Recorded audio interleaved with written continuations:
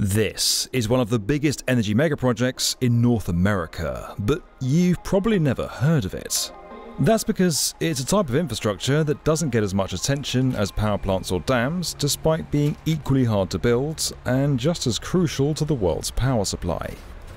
With the global energy crisis showing no signs of stopping, gas prices stuck at record highs, and shortages made worse by Russia's invasion of Ukraine, ensuring there's enough of the stuff to go around has become a bit of a challenge. But when this enormous new facility in Canada completes in a few years, it could provide a much needed new source of fuel that'll reach far and wide, as well as providing a huge economic boost. The single largest private sector investment in the history of Canada. But in an industry where competition between countries is fiercer than ever, and with renewables on the rise, is this Canada's chance to become the next energy superpower? Or has it missed the boat?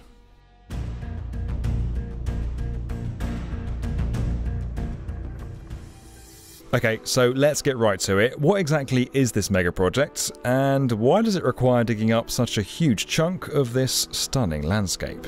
Well, it's all taking place in the small town of Kitimat, and the consortium behind it goes by the name of LNG Canada.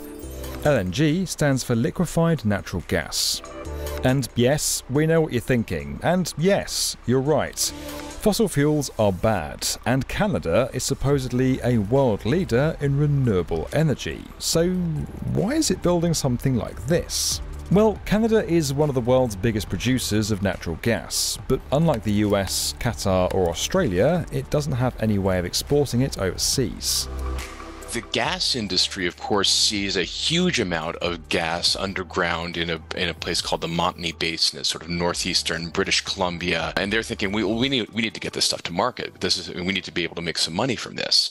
But the problem is that there's not a big population center nearby. They need to get it somewhere else. Hence why Canada is now building its first LNG scheme, set to cost more than 40 billion Canadian dollars in total.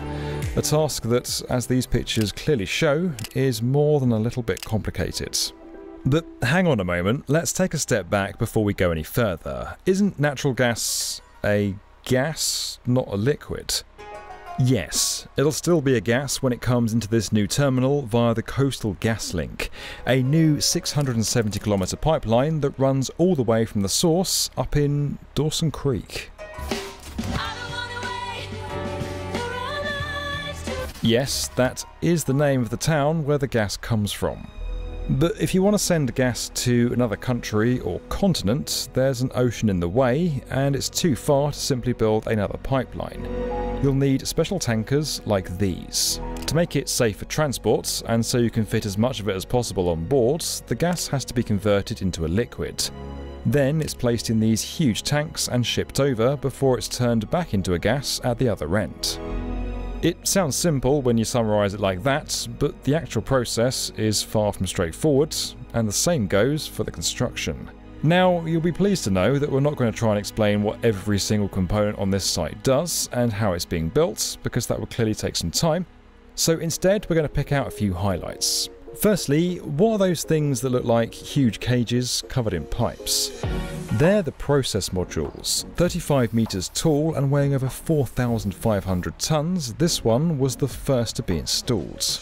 Its job is to act as the entry point for gas coming in from the pipeline and to send it on to be treated and processed.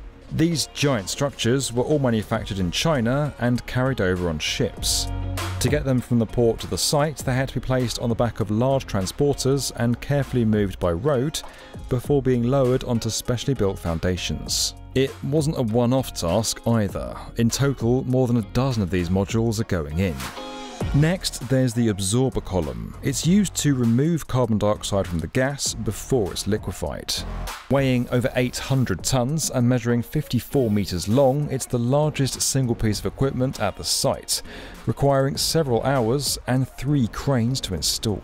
But the one thing you really can't help but notice when looking down from above is this the massive tank where the gas is stored before it's piped onto those ships. 52 metres high and 92 metres in diameter, the colossal container is one of the biggest of its kind in the world. With a domed roof that had to be lifted into place very slowly. The lift was done using fans, which gradually pressurised the tank and raised the roof over three hours. Once in position, welders fixed it into place, and the air pressure inside could return to normal. With construction now over 70% complete, the terminal is set to come online sometime in the middle of this decade. And as for where all this gas is likely to go, well, Asia is the main target. It's the next closest continent to Canada's west coast. Many countries here are dependent on gas that has to be imported, and others are still burning coal, the worst of all fossil fuels. Yes, natural gas is a fossil fuel too, but it's not as bad as coal, so technically, it is a lower carbon form of energy. But is it really going to get countries like China to stop using coal?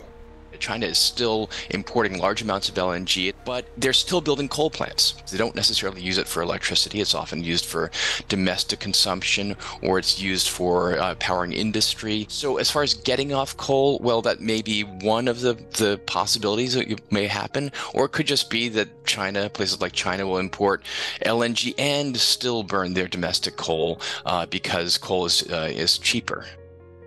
So, what about Europe, which has had to scramble over the past year to fill the gap in its gas supplies left behind by Russia and its war in Ukraine? Europe's energy crisis, one that could tilt not just the continent, but the entire world into a possible recession. According to Shell, one of the five companies behind LNG Canada, 2022 saw LNG imports to Europe increase by 60%. Surely then, one of the world's biggest gas producers suddenly becoming an exporter is good news for Europeans. Well, first off, they're in the opposite direction to Asia, which would mean very long journeys to reach them. Also, despite needing more of it in the short term, Europe is pushing hard to get off fossil fuels for good as soon as possible. And right there, you have one of the potential problems with this whole project the timing. When it finally gets up and running, many nations are going to be looking at much cleaner alternatives to natural gas, and the chances are that overall demand will be lower by then. Canada will also be coming up against competitors that have already been doing LNG for years. Another issue is the cost, which has grown significantly, not on the LNG terminal, but with that pipeline. There's also the impact on local communities, the First Nations. LNG Canada says it's working closely with them on the main site, but there have been disagreements further inland. Coastal GasLink pipeline was originally estimated to cost about you know around six billion dollars. The latest cost estimate is 14 billion in these are Canadian dollars. And then at the same time, First Nations, the Aboriginal people of of, uh, of the Montney Basin, uh, have been uh, concerned about the impacts of drilling and forestry on their their hunting and fishing uh, rights. The industry had to make an agreement with the government and the First Nations that limited the amount of drilling in the basin, and that could push up the cost of supply as well. All in all, LNG Canada represents something of a gamble for the companies involved, and to some extent the country. It's undeniably impressive from a construction point of view, and it's offering something that's clearly needed at the moment all over the world. But as is often the case with these mega projects, whether it ends up being worth the costs, both financially and environmentally, remains to be seen. This video was sponsored by Bluebeam. You can learn more about how their digital construction tools are helping amazing teams around the world at the link below. There's also the chance to dive deeper on this and the other topics on our channel over on the World's Best Construction Podcast, available now wherever you get your podcasts.